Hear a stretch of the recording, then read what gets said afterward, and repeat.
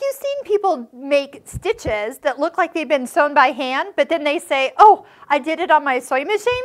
Well, in the Pfaff Quilt Expression 720, there is an entire menu devoted to the hand look stitches. So if you hop on over to quilt stitches, hand look stitches is 2.1.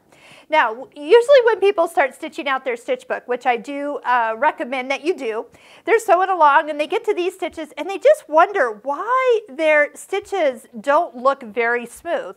Well, they're sewing with the same thread in their needle and the bobbin, and then things look very tight. Look at the tension.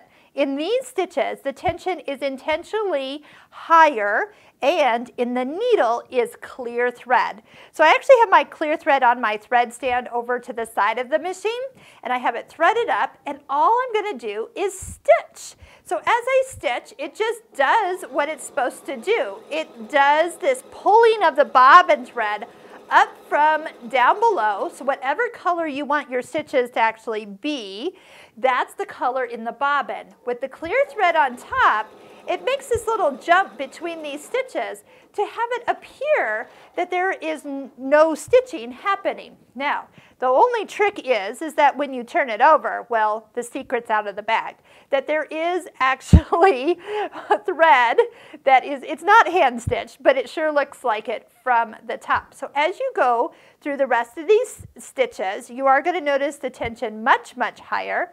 And as it stitches, it will have these hand look, hand stitched look. So if you're unsure, just go ahead, ask the machine, hand look quilt stitch, um, use monofilament thread in the needle. The needle thread tension is increased to pull up the bobbin thread.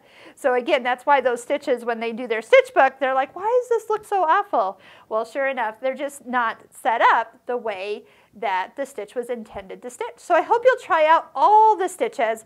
I do like number two, that is my favorite one, the one you see the most. It really shows off the nicest.